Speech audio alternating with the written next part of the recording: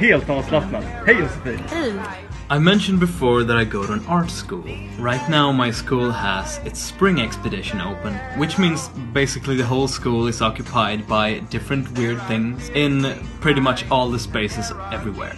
So it only seemed fitting that I make a vlog episode about art. So I've been interviewing my classmates and my friends about what they feel art is and why you make art and what's the difference between good art and bad art and stuff like that. And I also had my friend Josephine show me around this exhibition, showing me a few of her favorite pieces. So my name is Larben and I'm here to talk about art. Du sysslar med konst. Ja, ja, jo men det gör jag. Varför då? Det är eh, det jag vill göra i livet. Det enda jag tycker är 100% kul och meningsfullt. Vad är det som är meningsfullt i det? Vad, vad är mening för någonting? Vart hittar man det? Det där är ju riktigt svårt alltså. Varför gör du det här? Film? Måste du ställa så svåra frågor en söndag när man är lite bakis? Liksom. Tack. Hej Kajsa! Hej! Vad är konst för dig? Vad som helst nästan som man kan tycka är fint. Jag tror man väljer ganska mycket själv. Jag tänker att det som är konst för mig kanske inte är konst för dig. Måste det vara fint? Något som berör ändå, kanske mera. Mm. Hej Emily! Hej. Vad tycker du att konst är? Ehm, jag tycker det är någonting som man tycker att det är själv. Så om jag tycker att någonting är någonting själv, då är det konst?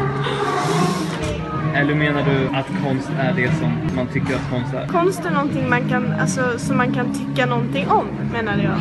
Konst är någonting som man kan tycka någonting om och som någon tyckte någonting om från början och därför skapade det.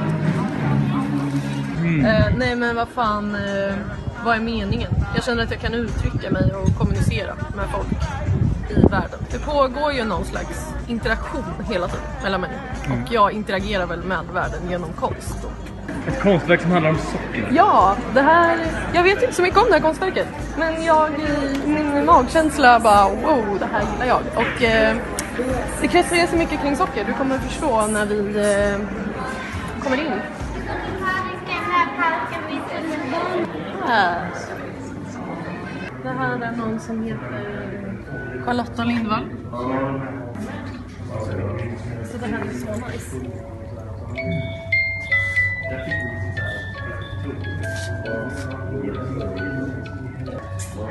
Rent spontant så känns det som att det där är, det där är socker så som man ser det i de små. Det där ser ut som smält socker.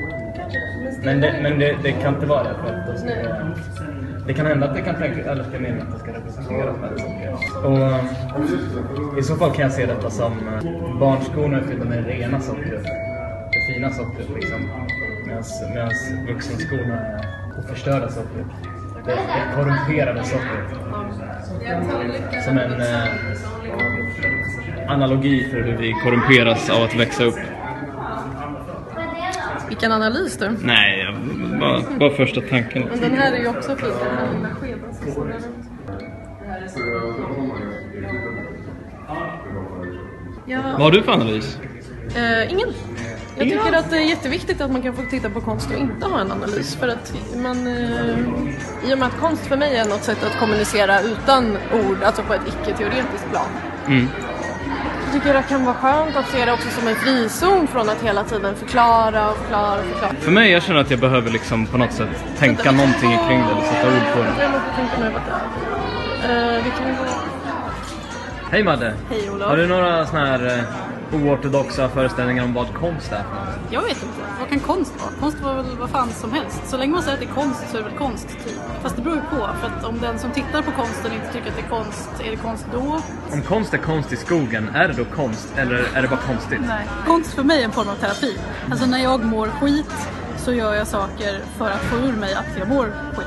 Liksom. Så att om jag känner mig ensam och dyster och deppig så gör jag någon form av projekt för att liksom bearbeta det här och fatta att jag mår dåligt. Och när jag har fattat att jag mår dåligt då kan jag gå vidare. Jag tror mycket som man går runt med är man inte ensam och då kan det göra folk gott att dela upplevelser på olika sätt. Kanske genom konst, kanske genom musik, kanske genom samtal, kanske... Ja. Vad jag tycker om konst? Ja, jag tycker den är alldeles för full av tiggare, tycka synd och kön och allmänt titta på mig. Och titta på världen och hur mycket problem det är. Uh, jag ska hänvisa er till de här problemen, det är ert fel. Jag serverar som en sån här vägvisare. Uh. Tjena, yeah, I'm done. Yes, goodbye.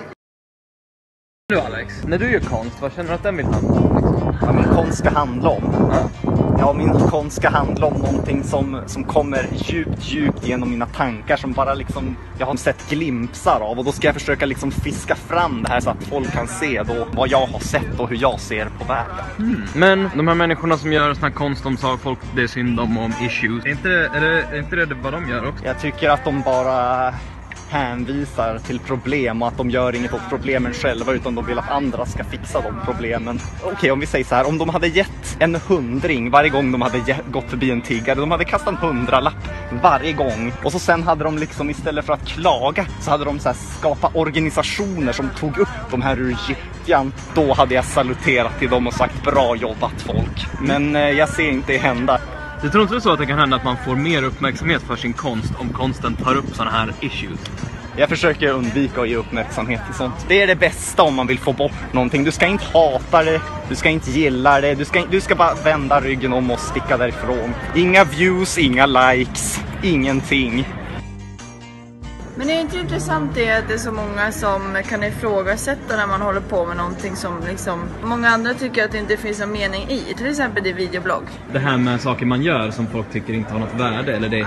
det har inget värde utöver sig själv. Liksom. Ja. Så här, religiösa människor de känner ju att livet har ett värde för att vi har fått vårt värde av Gud eller att det finns något, någonting utanför oss själva som ger- ger oss ett värde. Liksom. Det är som en eh, endomorf. Ja, men om man, men om man, inte, om man inte ser det på det sättet, alltså till exempel i min världsbild så har ju inte livet självt något värde utöver sig själv. Eller livet blir bara värt det jag, det jag känner att mitt liv är värt, det är det värt. Vet du vad Olof? Det är lite tidigt för den här typen av frågor. vi skulle ha pratat om det efter vi har druckit typ liksom tre eller fyra öl.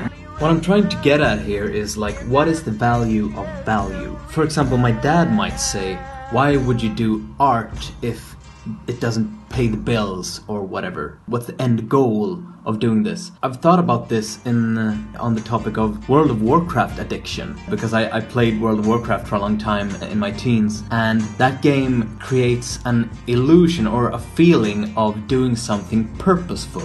You're always raising your bars and you're always working towards some kind of goal, but ultimately it's all meaningless because it's all just in the game. It doesn't have any impact on real life, usually. Uh, but then, what's the point of an impact in real life? And what is the impact of real life on something outside of real life? And when you think of it like that, then what's the difference between one feeling of purpose and another feeling of purpose? Something like that.